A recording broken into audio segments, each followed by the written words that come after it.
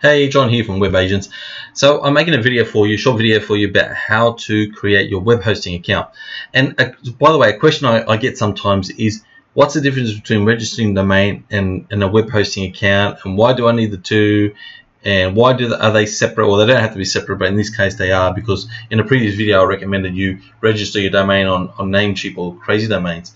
Now, StableHost, who I recommend for your web hosting, um, the, now the reason why you need both. So registering a domain is like, I compare it to a street address, right? And a vacant block of land. It's like you buy a block of land and that's my address. So that's where I'm going to live and that's where you send me my mail. But you have to build a house on it.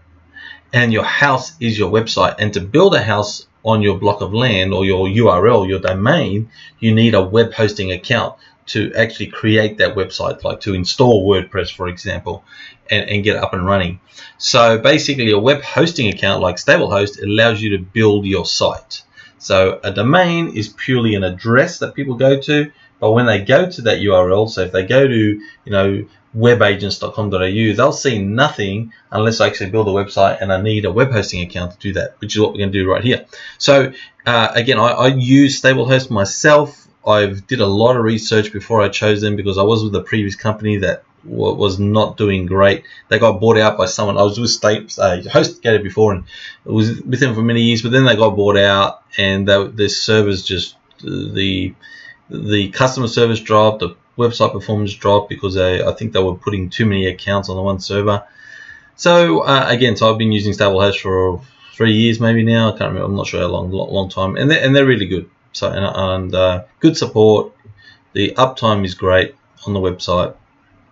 So to create your StableHost account, you need to go to obviously stablehost.com and you and by the way this is worldwide it doesn't matter where you are in the world you can create your StableHost account it doesn't matter if you've got a you want to host a .com.au site or a .com site or a German site or doesn't matter what kind of site where you are in the world you can use StableHost so you go to stablehost.com and you click on sign up.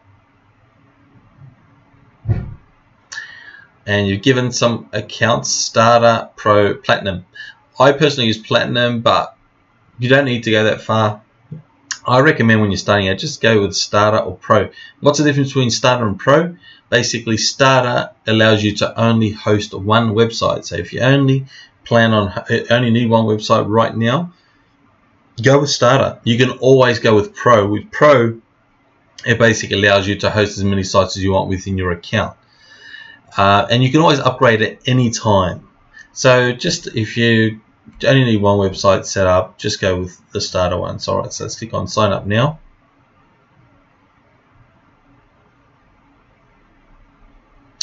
Alright, so the first thing it asks if you have a domain or not. Now, if you've done what, uh, if you look at a previous video of mine, we've already registered a domain. If you haven't, you can go watch that. Go search um, my web agents YouTube channel and you'll see uh, register a domain, how to do that.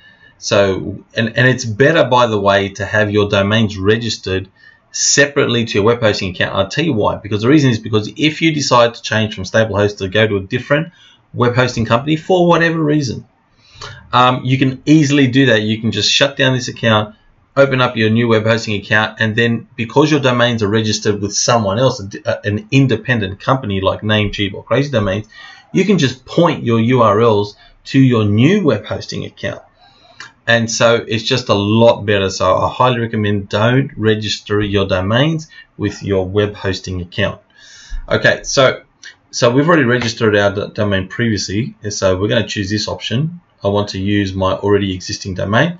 And let's say it's um, I'll put something in here that uh, alright stablehostrocks.com alright let's say that's my domain. It's not but let's stable host rocks yep.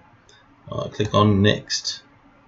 Oh and I should um, by the way I need to go back here. So we, we selected um, 36 months. Let me can I go back? Previous step previous. Um, no, let me just go click on the back button here. So um, you don't have to go 36 months you can go like you can go monthly three months billed every three months. Just go month I just recommend going monthly. Uh, which is great especially if you if you think you're going to upgrade anyway.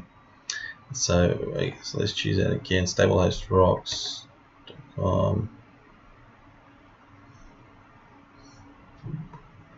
Alright, step two is um, SSH access add-on lifetime $2.50. Most people don't need that. You can always add it later. So just um, if you don't want it, or if you're not sure, it's only $2.50 lifetime. It's you know it's not even monthly or yearly. It's just a one-off.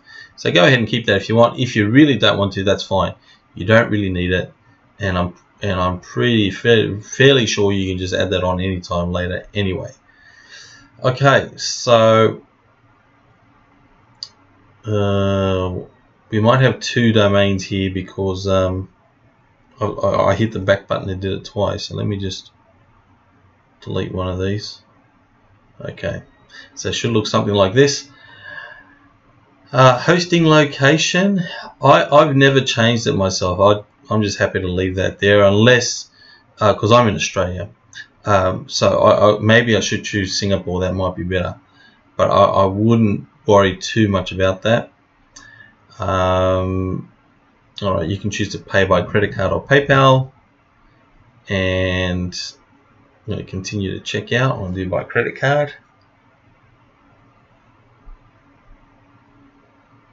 All right, and then if you uh, so obviously if you're creating a web hosting account you're gonna you're not gonna have a login so you're gonna need to create an account where you put your email password uh, and the password is because they're going to give you a login to manage your web hosting account like to manage billing or to get access to your web host control panel so you can install WordPress and so forth um, which we will do that for you by the way most of the time if you're one of our clients so you don't have to worry too much about that but so you you can enter the password that you want to have there for your account. So your email address, your password, first name, last name, um, your address, your phone, your address. Don't worry about company, company and company registration number. You can leave those blank. And obviously your country, your preferred currency, so uh, I'd just stick to US unless you're in one of these two areas. And if you could, I guess you could say that you can say other and you can say I sent you if you like, but you don't have to. Doesn't really matter. All right, and then you click on create account, and then it'll create that account for you, and then it'll ask you for your billing details, and you're all done. So you you'll you'll have your web hosting account. Now, if we're managing your website for you, just send us the login details that you create. So they're going to give you, um, so the email address you used here, uh, we're going to need the email address and your password that you created. We're going to need that so we can log in and um, be able to set up your website for you. Okay, so that's it for this video. Thank you for watching.